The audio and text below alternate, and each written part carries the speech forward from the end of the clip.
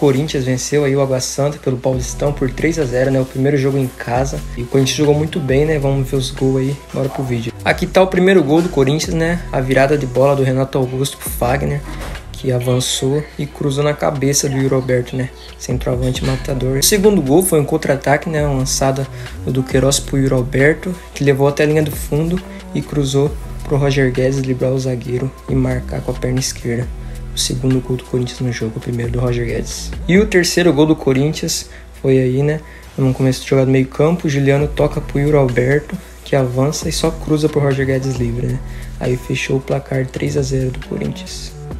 O Corinthians chegou a marcar o quarto gol com Balbuena de cabeça, mas o Bandeirinha anulou por impedimento. Teve também a volta do Romero pro Corinthians, teve a estreia oficial do Matheus Bidu, né? Vamos ver se a dupla Roger Guedes e o Roberto vai entrosar de vez, deixar os méritos todo aí pro Lázaro, porque o Corinthians jogou muito bem taticamente.